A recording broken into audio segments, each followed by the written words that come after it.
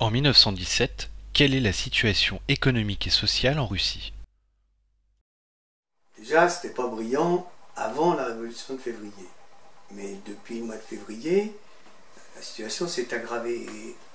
C'est une aggravation qui n'est pas seulement due à la situation politique de la Russie, c'est une situation que l'on retrouve dans tous les pays euh, de l'Europe centrale en particulier, hein, l'Autriche-Hongrie, l'Allemagne, etc.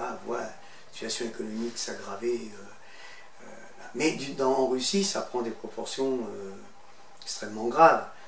Si on se rappelle bien, en février, c'est la faim quand même qui avait poussé les travailleurs à se mettre en grève et à manifester contre le régime tsariste. Or, aucun des problèmes pour lesquels ils se sont mis en grève et qu'ils ont renversé le tsarisme euh, n'a été réglé.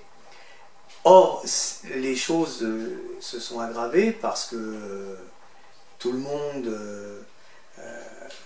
sait que, par exemple, on a assisté à un sabotage systématique du point de vue économique par les capitalistes.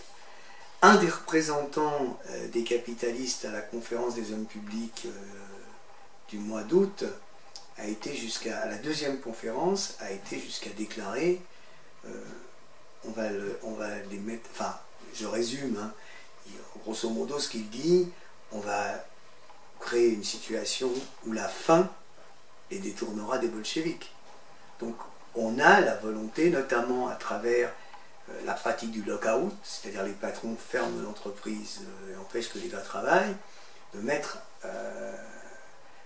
à la rue les travailleurs et euh, les réduire à la.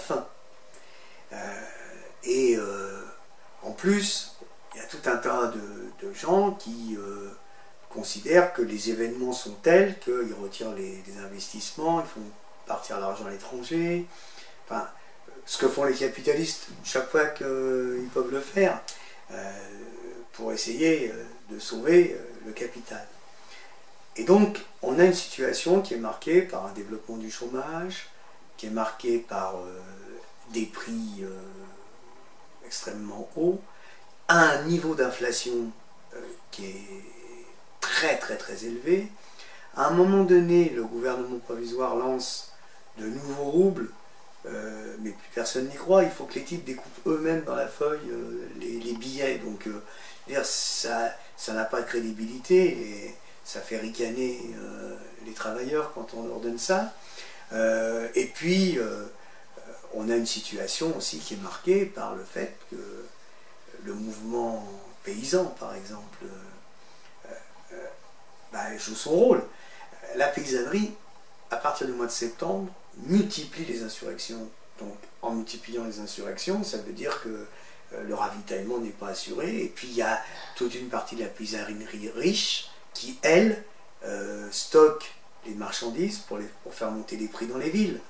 Donc on a une situation qui est euh, véritablement euh, catastrophique. Et c'est cette situation qui est à l'arrière-plan de la dégradation des positions politiques du gouvernement provisoire et de la montée des bolcheviks, parce que il faut mettre en relation ce mécontentement social qui existe avec la question de la guerre. Parce que tout le monde fait un lien entre le fait que ce qui, ce qui ne va pas au niveau économique, euh, c'est lié au fait qu'il y, a des milliards qui partent pour la guerre. Hein. c'est aussi simple que ça. Donc, cette situation est telle que Lénine, au mois de septembre, sort euh, une petite brochure qui s'appelle La catastrophe imminente et les moyens de la, de la, conjurer, euh, et où il avance quelques, justement quelques éléments de réponse sur comment faire. En particulier, il propose la nationalisation des banques, la transformation en une seule banque pour toute la Russie, et euh, il propose, et c'est là si vous voulez, le mot d'ordre prend toute sa signification, il propose le contrôle ouvrier. C'est important cette question du contrôle ouvrier, parce que, par exemple, Lénine ne lance pas le mot d'ordre nationalisation. Et euh, au contraire, ce qu'il propose, c'est que les travailleurs dans les entreprises contrôlent la production, contrôlent les capitalistes et s'empare de la direction des entreprises si les capitalistes sabotent la production euh, à ce moment-là. Et euh, en fait, ce que l'on va voir euh, au cours de cette période-là qui précède la révolution d'octobre et qui prépare la révolution d'octobre, c'est que peu à peu les travailleurs prennent en main dans les grandes entreprises les processus de production. Et c'est eux qui déterminent si on peut licencier ou pas licencier, euh, si euh, il faut euh, travailler à tel moment ou à tel autre, etc. C'est-à-dire, petit à petit, ils deviennent les maîtres, sans que pour autant on fasse confiance soit au, comité exécutif central des, soviets, qui est censé représenter l'ensemble des soviets, et qui est dirigé par les, conciliateurs, et encore moins le gouvernement provisoire, euh, pour régler la question, puisque la question centrale, à ce moment-là, c'est pas la question de la propriété des moyens de production, c'est la question de leur contrôle pour s'appuyer sur ce contrôle pour faire comprendre aux travailleurs que la question fondamentale, c'est la question du pouvoir, c'est la question d'affrontement avec l'appareil d'État. Alors, c'est pas aussi évident que ça n'y paraît, mais c'est vrai que si vous permettez aux travailleurs de prendre en main le processus de production, euh, ça aide à comprendre qu'ils peuvent prendre en main l'appareil de direction politique. Et donc il y, a, bien un lien entre les deux. Et donc ça va être euh, l'essentiel. La brochure de Lénine est, je crois, euh, une des brochures qui est fondamentale à lire, pas pour connaître tant la, situation en Russie, mais sur euh, justement toutes les transformations qui, affectent le système capitaliste à l'époque de l'impérialisme et euh, les, conséquences qui doivent en, découler pour euh, les communistes. Ça ne préjuge pas du débat sur les nationalisations ou pas, mais pendant très longtemps, les communistes ont plutôt mis en avant la question du contrôle ouvrier sur la question euh, des nationalisations. Et on peut lier les deux, hein, c'est pas le problème. Simplement, ce qu'il faut voir, c'est que avec le contrôle ouvrier, ce qu'évitent les bolcheviks, et chez Lénine, je crois que c'est important, je rappelle que c'est au même moment qu'il écrit l'État et la Révolution, donc euh, il, y y a vraiment un lien. Cela évite de mettre l'accent sur un problème fondamental qui n'est pas le problème principal. Le problème fondamental, c'est bien la propriété des moyens de production et d'échange, puisque c'est la base de la société capitaliste. Mais la question principale, c'est la question du pouvoir. C'est la question de la dictature du prolétariat. Et donc, euh, à travers les propositions de Lénine, c'est bel et bien cette perspective-là qui est avancée aux travailleurs, et non pas un mot d'ordre qui peut conduire et à l'époque de l'impérialisme, c'est quelque chose qu'on a vu par la suite, un mot d'ordre qui peut conduire finalement à une manière différente de gérer le système capitaliste, s'il n'y a pas le pouvoir d'État euh, aux mains du prolétariat. Comment se pose la question de l'insurrection? La question de l'insurrection, elle se pose dès le 1er octobre, c'est-à-dire quand, euh, pardon, dès le 1er septembre, quand les bolcheviks, les mencheviks et les socialistes révolutionnaires, contrairement à ce que leur proposaient les bolcheviks, euh, se mettent à la remorque des, forces contre-révolutionnaires. Et euh, Lénine va prendre en compte euh, un certain nombre de données. Il y a une donnée internationale qu'il ne faut pas sous-estimer, c'est que les premières manifestations de mutinerie dans les armées en conflit ont lieu à ce moment-là. En Allemagne, et en particulier en Allemagne avec le soulèvement des marins de Kiel, avec euh, les, mutineries dans l'armée française. Bien sûr, elles n'ont pas le même caractère qu'en Russie, elles ne sont pas au même niveau, mais elles indiquent le fait que les masses ne veulent plus de la guerre. Et euh, donc Lénine, euh, on revient à la question du maillon le plus faible. C'est-à-dire que la Russie, qui est à cette époque-là le pays le plus démocratique du point de vue formel, puisque toutes les, libertés démocratiques qui sont assurées, même avec des difficultés, mais de fait, il n'y a aucun pays où euh, il y a des commissaires auprès des commandants d'armée euh, pour, pour euh, leur donner l'aval des soldats. C'est le pays où, malgré tout, la presse révolutionnaire est diffusée partout. Donc, il faut prendre ça en compte. Et pour Lénine, c'est donc le maillon le plus faible. Et c'est le maillon le plus faible, ce qui veut dire que si ce maillon-là craque, les autres suivront. Et donc l'Allemagne, et donc la France, peut-être même la Grande-Bretagne. Mais bon, il n'y a pas de mouvement à proprement parler. Il y a quelques mouvements dans les troupes anglaises, mais pas à ce niveau-là. Donc, la situation internationale est mûre. Je crois qu'il y a quelque chose que Lénine ne pouvait pas savoir à l'époque, mais qu'il avait plus ou moins pressenti. C'est que, en même temps, le gouvernement provisoire est confronté à un problème, c'est qu'il faut qu'il sache utiliser les troupes dans la guerre ou contre les bolcheviks. Et que donc, dans certains euh, dirigeants, la tête de certains dirigeants du Parti socialiste révolutionnaire, euh, voire chez les mencheviks, il y en a qui se disent que finalement, si on se retirait de la guerre, euh, ça permettrait de garder les troupes pour conserver le capitalisme. Le seul problème, c'est que les alliés de la Russie, c'est-à-dire la France et la Grande-Bretagne, ne sont pas d'accord avec cette analyse. Il faut se rappeler qu'en février, la France et la Grande-Bretagne ont laissé faire et encouragé même euh, certains secteurs de la bourgeoisie à soutenir la révolution de février, justement parce que le tsar était soupçonné d'avoir eu des contacts avec les Allemands pour une paix séparée, parce qu'il euh, voulait lui aussi faire face à la montée du mouvement populaire. Donc c'est un des éléments qui vient renforcer l'analyse léniniste.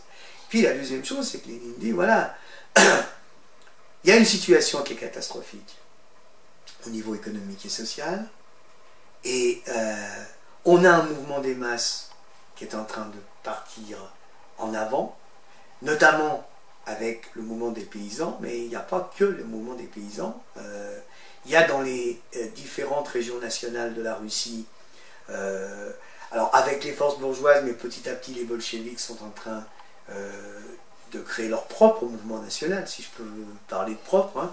leur propre mouvement, un mouvement national sur des bases de classe, disons, hein, pour aller vite, et en alliance avec le prolétariat russe. Euh, et puis il y a euh, aussi le fait que dans l'armée, les choses sont en train de tourner aussi. Euh, par exemple, on a dans un certain nombre de régiments des officiers ultra-réactionnaires qui sont déposés par les soldats et remplacés par des officiers élus euh, des officiers du rang, donc. Mais plus encore, il y a des officiers qui sont fusillés euh, par leurs soldats.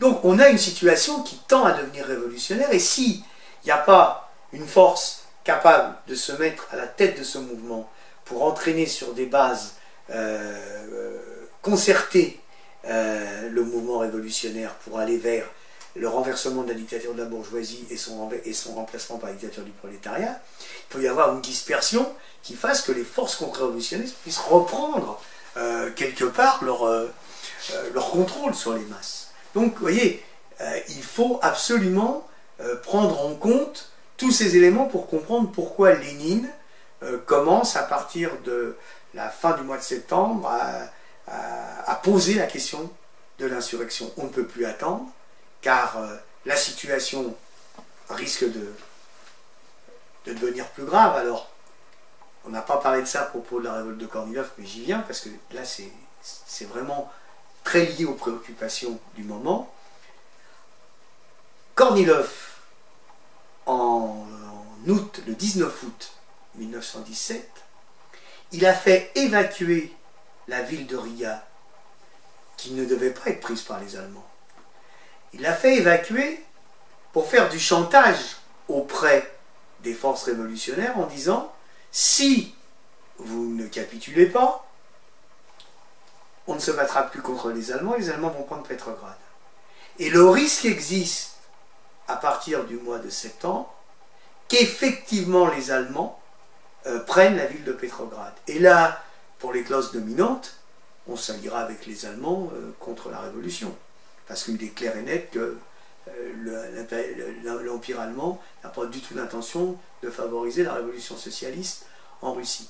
Donc par conséquent, il, est nécessaire de faire vite, parce qu'on voit bien se mettre en place l'idée que finalement, on va laisser écraser par les Allemands la révolution de Petrograd. Et donc pendant 15 euh, jours, euh, la question va être posée. Mais il faut que la décision soit prise euh, par la direction du parti parce qu'elle implique un certain nombre de décisions. le 10 octobre, il y a une réunion du comité central du parti qui a lieu à Petrograd et exceptionnellement, Lénine participera à la réunion de ce comité central il y participera et il développera euh, les arguments qu'il avait euh, développés dans les lettres euh, qu'il avait envoyées au comité central jusque-là. Et Lénine va l'emporter très largement, puisque le comité central du parti, à l'exception de deux voix contre, vote pour la préparation de l'insurrection.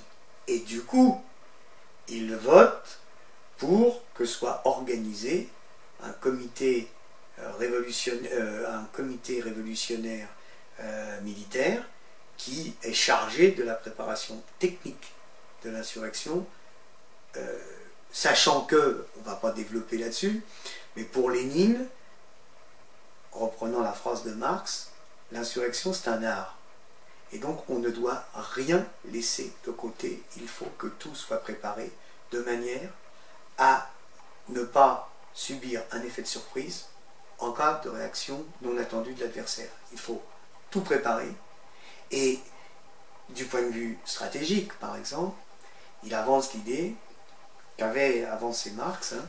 Un, c'est que il faut concentrer les forces là où l'adversaire est faible, qu'il faut avoir une tactique militaire qui fasse que la supériorité technique euh, de l'armée bourgeoise euh, soit surmontée par le nombre et par la surprise. Et il faut que du point de vue euh, militaire, s'appuyer à la fois sur les soldats, puisqu'on a une situation quand même paradoxale. Hein. On n'a pas détruit l'armée, au contraire, il faut s'appuyer sur les soldats. Et en même temps, il faut que la garde rouge, c'est-à-dire les ouvriers en armes, jouent tout le rôle qui doit être le sien euh, dans ces combats. Cette position faisait-elle unanimité au sein du parti bolchevique? Si on prend euh, ce que nous savons hein, des bases, euh, des, différentes organisations bolcheviques, il n'y a aucun problème, tout le, monde, tout le monde était prêt à cela. Par contre, au comité central, euh, il va y avoir deux problèmes. Premier problème, c'est, je l'ai dit, hein, il y a deux membres du comité central, Zinoviev et Kamenev, qui ont voté contre l'insurrection, ce qui était leur droit, puisqu'on leur demandait. Euh, le problème, c'est que euh, Zinoviev et Kamenev vont avoir une attitude, à proprement parler, qui est une attitude de trahison, Puisque, faut pas se leurrer, hein, la décision est prise à huis clos, mais tout le monde sait très bien qu'il est en train de se préparer quelque chose. Et on part de l'insurrection. Et les seuls qui sont susceptibles de faire l'insurrection, c'est les bolcheviks, puisque c'est eux qui développent cet argument. Or, euh, Kamenev et Zinoviev vont écrire une lettre un journal menchevique dans lequel il se désolidarise de toute euh, tentative de faire une révolution pour renverser le gouvernement provisoire. Ce qui était une façon de dire aux autres que la révolution se préparait. Et donc, euh, Lénine va demander leur exclusion. Ils ne seront pas exclus du comité. Lénine demande leur exclusion du parti. Ils ne seront pas exclus. Euh, du parti et euh, ils seront simplement écartés pour quelque temps du comité central, mais les tâches étant ce qu'elles sont, etc., très vite ils vont reprendre leur place. Ceci dit, je le dis pour nos, nos téléspectateurs, cette attitude de Zinoviev et Kamenev n'est pas sans poser problème, parce qu'il y a des gens qui s'étonnent ou s'interrogent sur le fait est-ce que euh, Zinoviev et Kamenev étaient capables des trahisons dont on les a accusés lors du procès euh, de Moscou qui a conduit à leur condamnation à mort. Ben, je crois que ce qui s'est passé à ce moment-là montre que quelle que soit leur attitude avant, quand on voit leur attitude à ce moment-là, et quand on voit aussi leurs attitudes à certains moments euh, dans la bataille politique jusqu'en 1929-30, fait, va faire réfléchir, parce que, euh, effectivement, euh, au-delà du fait qu'on n'a jamais fait la preuve qu'ils étaient innocents, c'est quand même un élément, l'autre question c'est que ils ont fait la preuve par contre qu'ils étaient capables des pires trahisons. Parce que celle-là, c'était quand même quelque chose qui euh, vraiment relevait de la haute trahison. Euh, et puis alors, il y a un autre problème qui vient se poser, c'est la question de la. Parce que Lénine a bien conscience que si le mouvement révolutionnaire est en train de monter, par contre les contre-révolutionnaires, ils se préparent. Et tout le monde voit que les contre-révolutionnaires se préparent.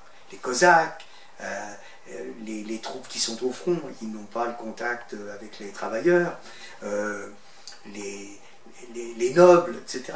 Tout ça, tout le monde se prépare à quelque chose. Les Junkers, qui font partie des, troupes répressives, euh, etc. Tout le monde se prépare pour euh, le conflit contre le mouvement révolutionnaire. Et donc Lénine dit c'est une question de jour.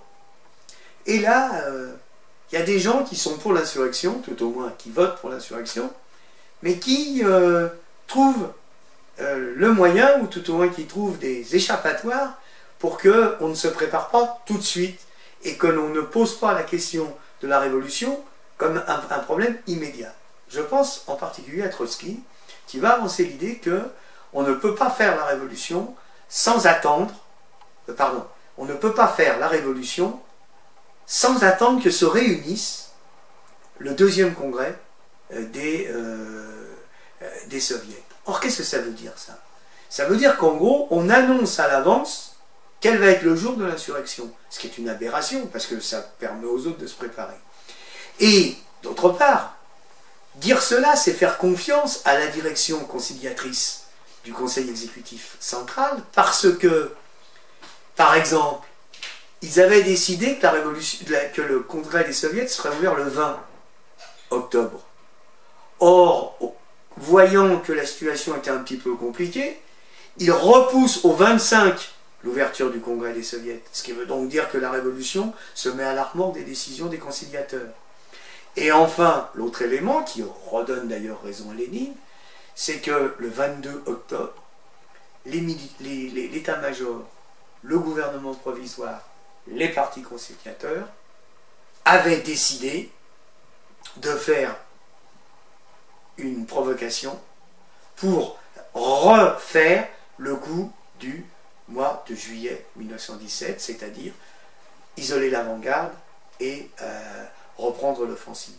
Ce jour-là, le 22 octobre, ils avaient décidé euh, qu'il y aurait une procession dans les rues de Pétrograd, vous voyez ce que ça veut dire, hein, une procession dans les rues de Pétrograd euh, des Cosaques à l'occasion d'une fête de la religion orthodoxe, en liaison avec la religion orthodoxe. Les popes poussaient à la roue à ce que cette, cette procession ait lieu.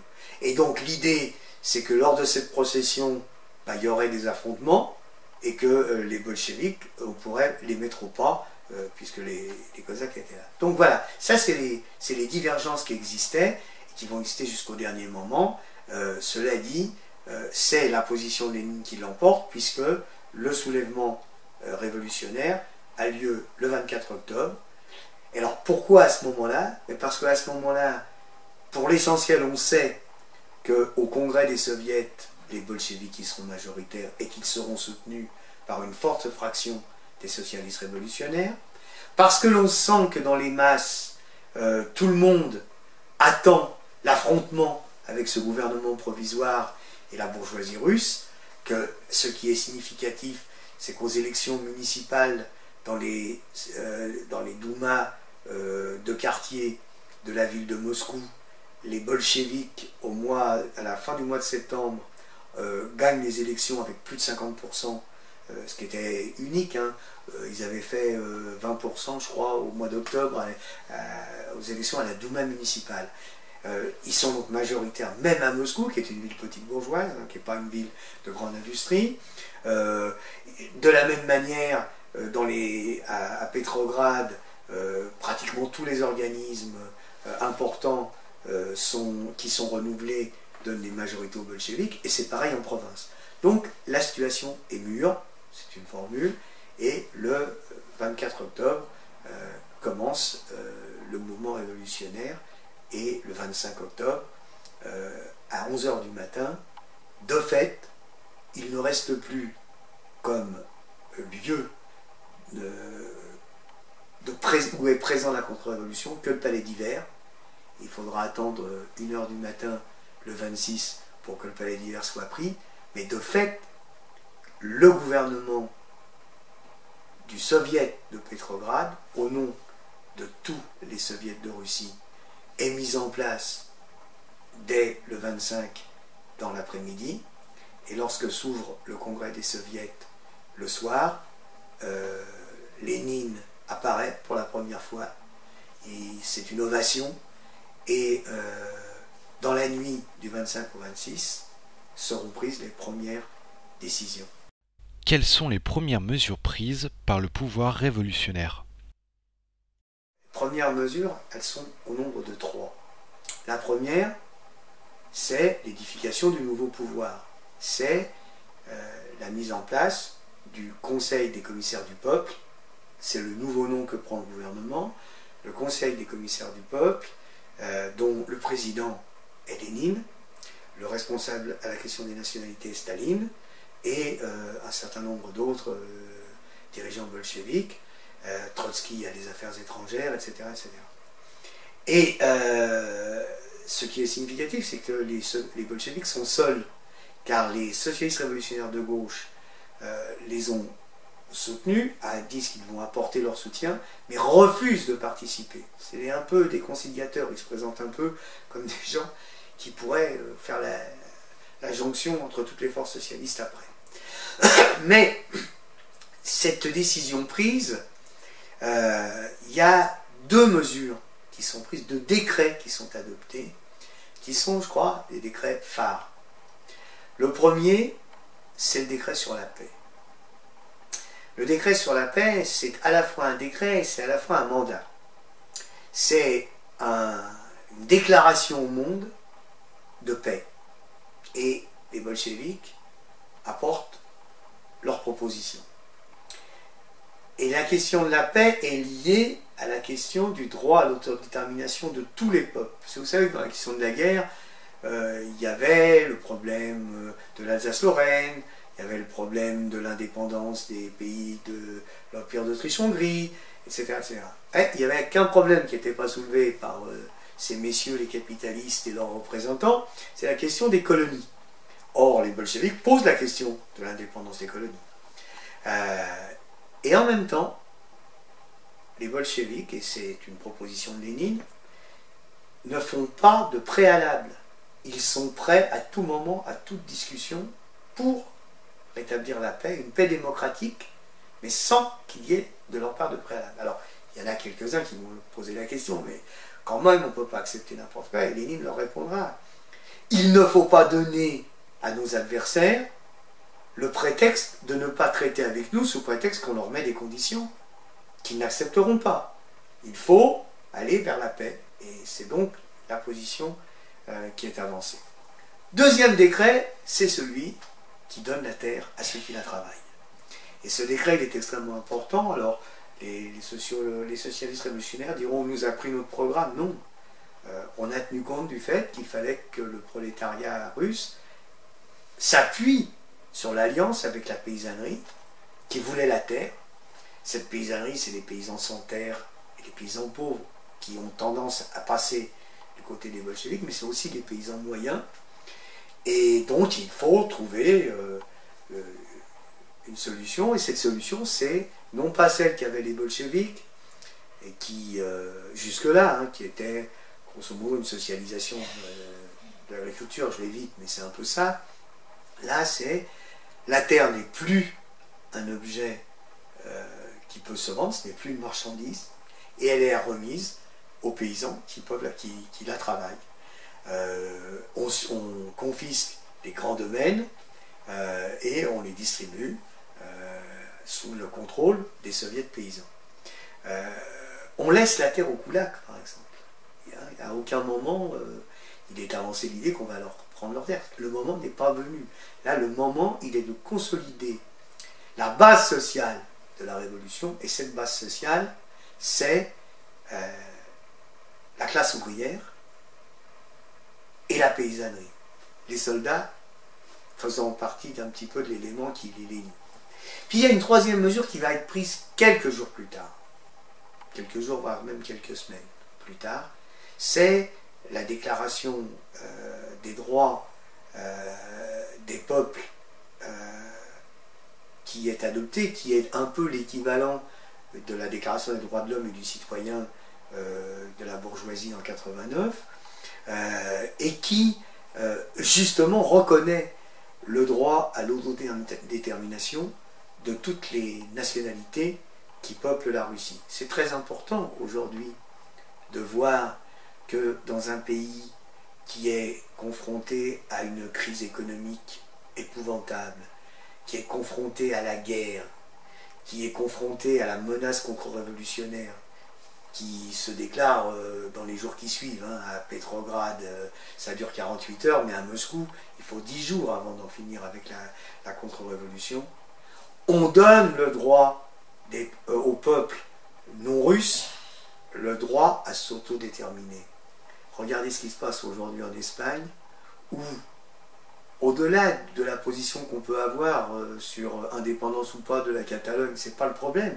Le problème, c'est que on a dans une région où il y a une nationalité réelle, hein, c'est pas, pas le Kosovo euh, au moment de la Yougoslavie, encore que c'était une nationalité aussi, mais euh, la situation n'est pas la même, des gens qui voulaient simplement s'exprimer s'ils étaient pour ou contre l'indépendance, où on leur envoie la police, et où on, est, établit de fait état d'urgence, et où on est en train de bloquer la possibilité que les, les, propres représentations bourgeoises d'une constitution bourgeoise euh, soient bloquées pour empêcher que le peuple se détermine voyez, c'est ça aussi qui fait la différence entre une révolution socialiste qui va jusqu'au bout de ses promesses et la fausseté des affirmations des constitutions bourgeoises et des forces bourgeoises qui sont à leur service. C'était le dernier épisode de notre série dédiée à la Révolution d'octobre. Nous vous invitons désormais à partager nos vidéos, à vous abonner à la chaîne et à consulter notre site internet présent dans la description de la vidéo.